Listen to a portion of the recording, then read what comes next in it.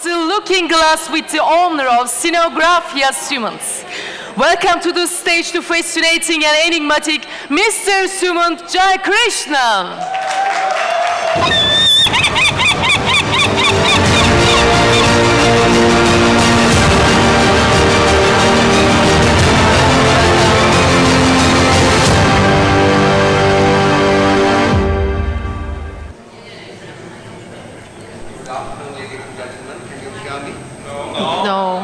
Sound.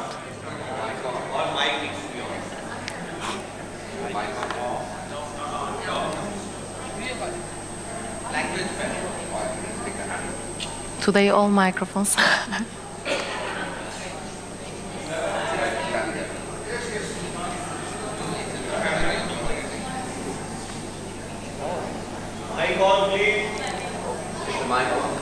It's not open.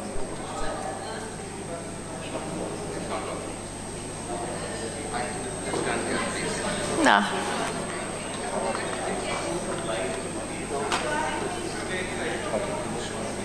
Can you hear me from here? Is that all right? Just mic off as well.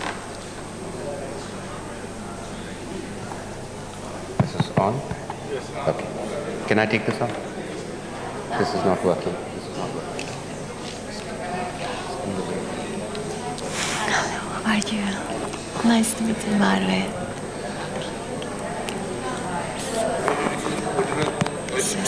Uh, good afternoon, ladies and gentlemen.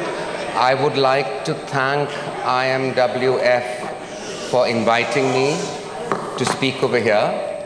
I'm using the uh, I'm using the phrase "through the looking glass" because it's one of my favorite authors and books, Lewis Carroll, Alice in Wonderland.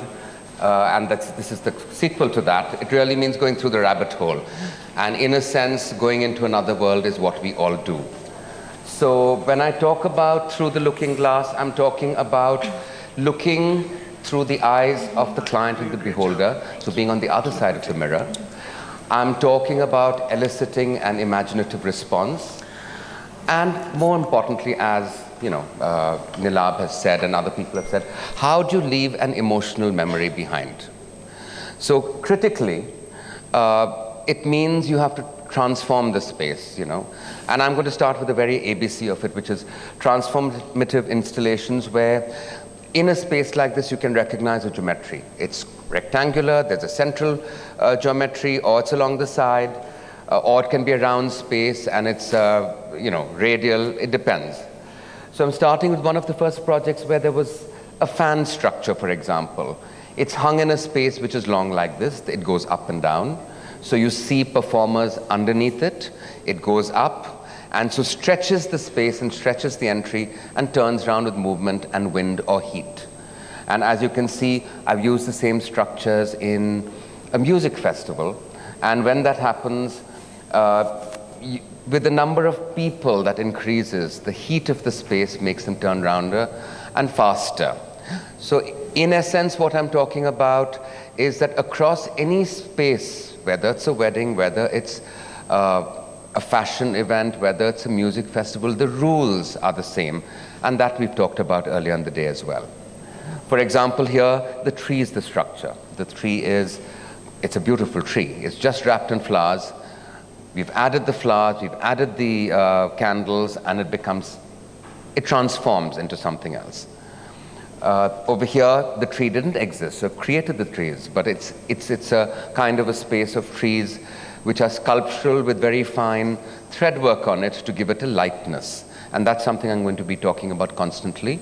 Lightness, the lightness of being, and the fact that when we do a project, which is just for one evening sometimes, how do you deal with it to keep costs in control? How do you deal with it to still keep it beautiful? How do you deal with it to keep it feeling light, ephemeral, because it is ephemeral. It only stays on as a memory or in your, uh, as a film sometimes, but it can never capture the moment and your actual experience in sight. Uh, this is another image of the same project where you can see how I've taken the chakra as an element and used it on the building as well. Uh, this is an interior space. Very often we have low spaces, we have high spaces. How do you utilize both so that your eye goes up and down? And this is for an exhibition with textile, but for an art show. And then when you go inside the tunnel, how do you create the sense of infinity? Because you're always trying to achieve something which is larger and bigger, both in the reality and in your mind, what you keep ahead in your mind after it's all over. Over here, this is a project for the French Embassy where instead of red, white, blue, the flag, I've gone from through the color spectrum. And that's something as an Indian one has the freedom to do. One can be complex or one can be simple, yet the ability to work with color is the most important because color evokes so many emotions. These also have lights in it, so when it becomes dark, the lights come on and it lights up. This was for a music festival, so when you talk about images and color, and this had no structure, no geometry. So I had to create the structure and geometry to give a rhythm to the space. And I use these in the weddings I do. So do not separate the images I'm showing you from the other projects because it is pretty much one and the same thing. This was in Austria. I had to create structures, and these are giant hands. I've used these hands for mehendis separately, full of mehendi. Uh, these are lotuses. I've used it in an art installation. I also use them in weddings because lotuses in India are so, uh, they're precious and they're very symbolic of peace, of love, of uh, many such emotions. Over here, there was an existing sculpture. I added the lotuses to enhance the space. The elephant is another motif. This is entirely mirrored. It's covered in stones, and uh, this friend of mine had her purple hair, very elegant dress. I asked her to model for this, just to get a sense of how you can go into another space. This, this is a structure where I was working on a wedding in Kenya. And off the street, I found these artists who normally make uh, elephants and rhinos and things like that. And I asked them if they could make me a 14 foot high structure of a lady's face. Uh, and this is what came up, and I was very pleased with it. This is for the art fair. These are structures that are like the game that you play, it would be set in the morning and be chaotic in the evening because the kids especially loved it. This is another thing where I talk about lightness because you can see I use a lot of thread filament and this is just done in filament of about 40 shades for an art fair but I use it in all the events. So what I'm introducing you to are the bits of vocabulary which change constantly. This is a structure made of glass with etching film. So when you light it, the etching picks it up and I was meant to create something classical yet contemporary for a fashion designer for his bridal exposition. So you can see all the structures. So one entire side was mirror and the other three were glass. Uh, this is for Swarovski and I work on them, work with them for fashion, for weddings, for installations, for trend forums. And this, instead of Christ a Christmas tree, I created something inspired by flame for Diwali because that's when people shop in India, not during Christmas. And again, as you can see, the lotus has a base over here. This was the India Pavilion for the India Design for uh, the uh, London Design Biennale in London two years ago, where I worked with the street. And it was Utopia in Design, and I'm working with uh, street art or street text in embroidery hoops. And I've used the chakras again because we talk about evolution from one chakra to the next, to the next, to the next, until you find the ultimate evolution. It had a stainless steel floor, so as a person in the space, you were suspended in space. So I'll move now into the ceremonial spaces, which can be small or large, and simple or complex. I'll start with large spaces, for example. Over here, you can see that this is a space for a lot of people, but yet it had to be serene. So working with flowers, the basics of the, of the uh, banana tree, which is meant to be quite uh, auspicious, the pundits or the priests in the center and everyone else in a tiered amphitheater space. These are other kind of amphitheater spaces, but this is inspired, for example, from the temples in Kerala where I come from, where the priests will light up the temple in 15 minutes. Here I worked with ribbon or the thread work again, and you can see how it works in different ways uh, with the amphitheater again. Banana stems, tender coconut leaves, uh, bulbs inside it. So it's finding different craftsmen who do traditional work and then involving it intuitively into what one does. This is a more recent vocabulary where I work with taking actual architectural forms, but translating it into something ephemeral with filigree work and ribbon work and floral work so that and glass you know because we as being in india you have access to all of this at very low cost so very often even when i'm doing projects abroad as uh, Rituraj will tell you because he does a lot of this we make these in india and ship it because it makes it possible for us to afford to do something with scale otherwise very often in uh, europe especially it, the costs of creating are so prohibitive that you cannot actually make these things there. Water bodies, this is very recent. This is the last project about three weeks ago, where we created that entirely and had the uh, ceremony in the middle of it, you know, and this entire space was air conditioned. So that's the crazy part of it. The events I'm showing you range from, say, uh, 300 people to 10,000 people. I'm not going to tell you which is which because these are this is more about ideas. But you know, that's the scale of uh, range of people that we have. This was in Florence. In fact, uh, Costanza is here, and we worked with her on this. We had to work with things which were available locally and create something which didn't interfere with the beauty of the Tuscan villa. This was in a house in India. So these are the simpler ones. We're just working with Indian flowers and finding different ways to do the colors you can actually do something. Here it was a wall which was a very ugly tin wall. So using ikat, the Indian textile, as an inspiration, trying to get something organic yet structured. This was for, this I actually worked after having worked in Italy on a project in Venice, you'll see photos. I pulled in Eric Chauvin, who was a uh, floral designer from Paris, for a wedding where in the main space, the five spaces for the mehendi or the henna ceremony, were just rooms of different colored flowers. You know, so there were five rooms, five shades of flowers, and sometimes it can be very minimal. Uh, and I think that's what's fun about being Indian, that you can go from one extreme of simplicity to the other extreme of complexity and layering, kitsch and chaos. One of the important learning places for me in projects was in fashion, you know, because fashion in India, the ultimate, usually fashion designers are not couture designers, they design for weddings.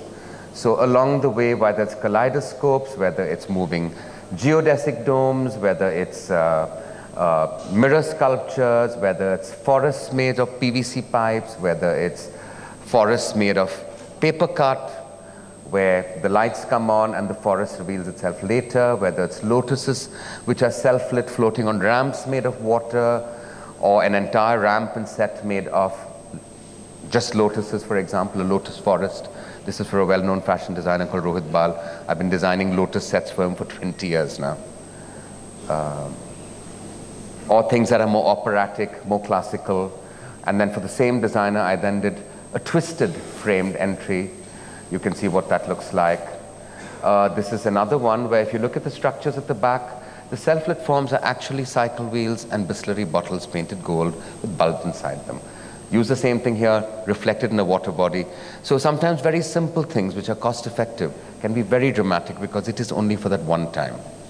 This was a set made of junk from uh, automobile junkyards because they were launching, uh, uh, it was a couture show, believe it or not, but in a, for launching Mitsubishi. This was a designer who said, I want Hatshepsut's tomb as my inspiration from Egypt. I said, sure, that's fine, but may I make it not solid and, uh, you know, imitate it, but use paper instead. So it became self-lit.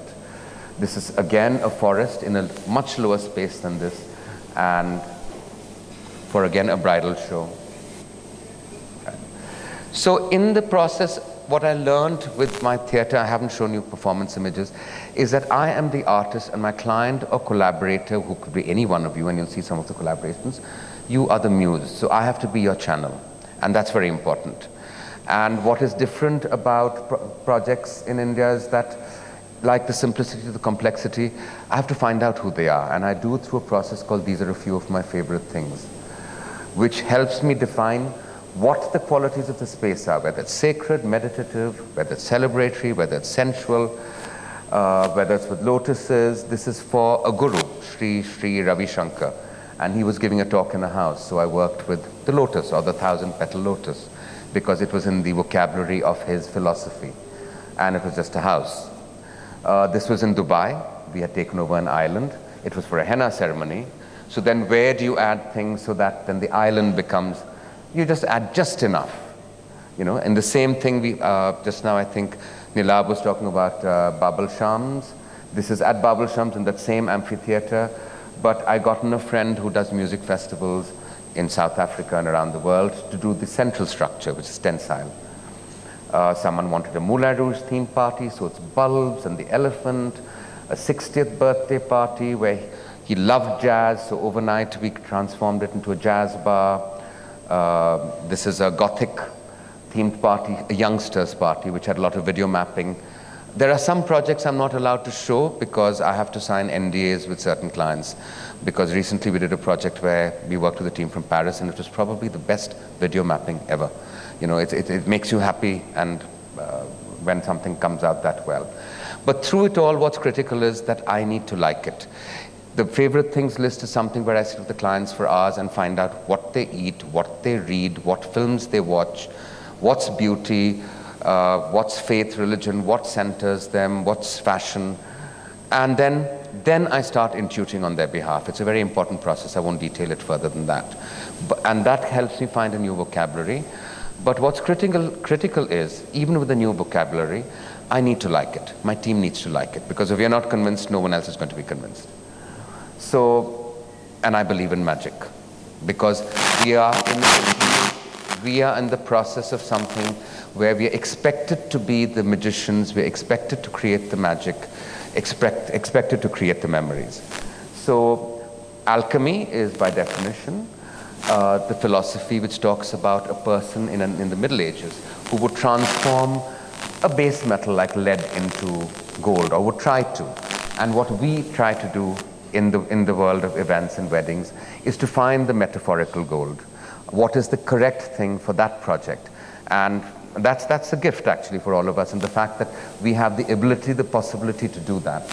Whether it's someone's 21st birthday where I'm working with light and video mapping and entrances and optical illusion, or whether it's uh, the Lady Gaga show for Formula One, or whether it's a client. These are seven-story structures who want something inspired by Southeast Asia.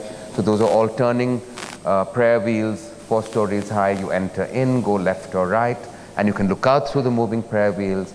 Southeast Asia, of Asia is easy because you have from samurai warriors to calligraphy to Zen gardens, and there are different kinds of spaces. This was a high tea area.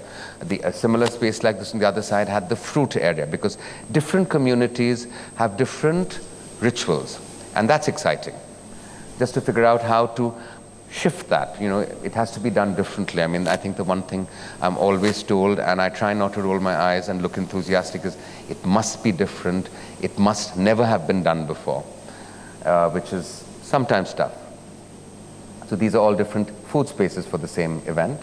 This, as I said, are the hands for the henna ceremony in Venice, where we had to take over an island. This was at the wedding in Venice because it was about 800 people, and we had to create different spaces. So I was working off the vocabulary of Venice. Why would I go to Venice and try and create a mini India there? So from elements of the chapel there to uh, the statues, to the topiaries, to even the structures we built, the metaphor, and we're always looking for metaphors and ideas, was that of a palazzo. So you can see the ceilings, you can see the inspiration of the images, you can see the flowers. It's, you're working with a different vocabulary.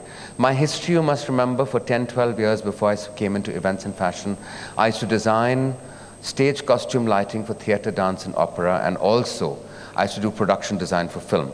So research and finding what works is very important. So here you can see the palazzo ceilings, you can see the flowers, and at the sides you have images behind the art structures of Venice in the Middle Ages to the you know, stage where we worked with the mound at the back and the opera house, La Fenice. Uh, and then it transforms into the night. Very often you have to work with something that starts at 4 in the afternoon. You've tested your light so that the transformation from day to dusk to night has to be seamless.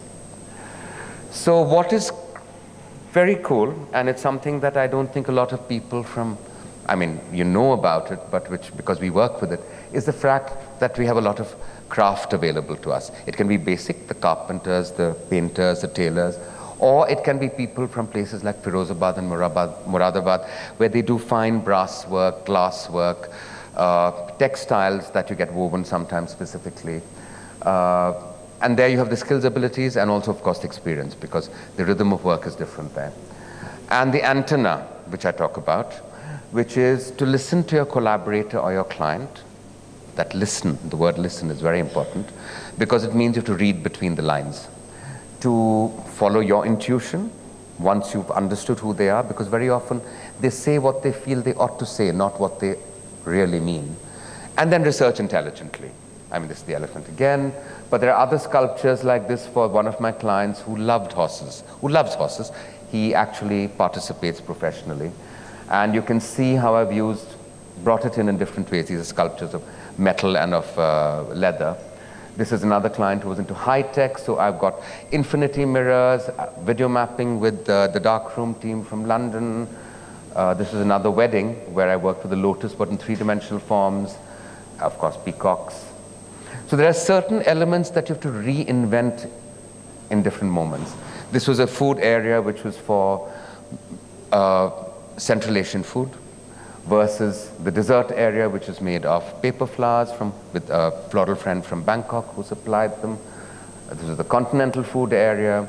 In another event, I just worked with frames, and you can see all the thread work again with antique lamps below it. And you can see how people said, all of these are structures that we build. If it's winter, we don't air condition. If it's summer, we have to air condition. And they're very large spaces starting from, uh, you know, it could be 4,000 square meters to almost 20,000 square meters when you're doing something like uh, 10,000 people.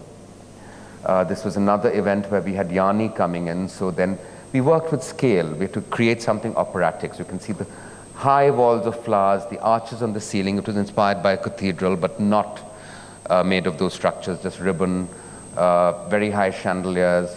Versus, this is a client who loved things, all things contemporary, clean, new. So the entrance was just flowers and mirror and shapes. Moved to the main space, we built over a house, which is just made of glass and metal.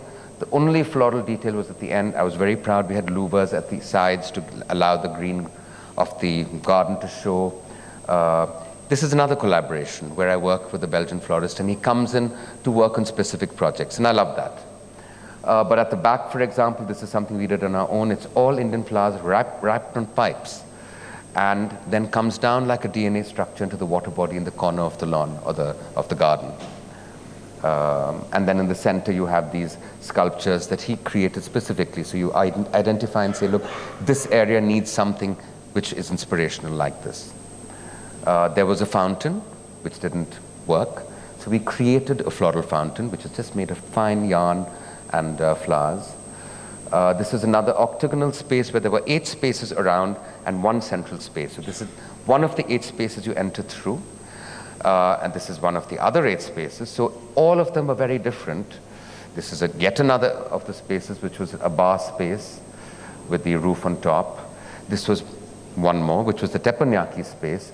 You can see the kimono at the back and the bamboo roof, but the kimonos are actually fabric merging into flowers, again, working with another floral designer to get an idea going.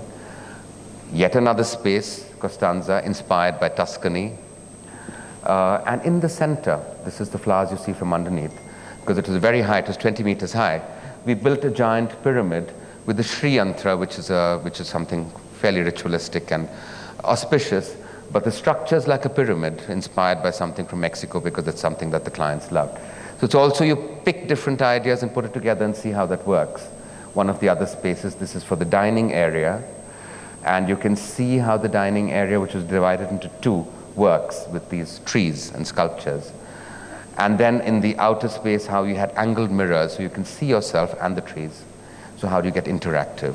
This was something which was very 1920s, so inspired by that period of time where you enter onto the first level which is like a library inside with the giant Fabergé egg, walk down into this giant space, which is, uh, you know, it's got mirror, glass, uh, it's very uh, Art Deco. It's one of my favorite period, periods of time. Versus something very classical. This is all inspired by the lotus for a wedding. Again, a huge space, giant inverted floral lotuses, uh, stage again with one giant lotus. And what you have here are all the gods and goddesses because they were very religious. They wanted a pantheon of the gods like stained glass, but flowing and merging into flowers.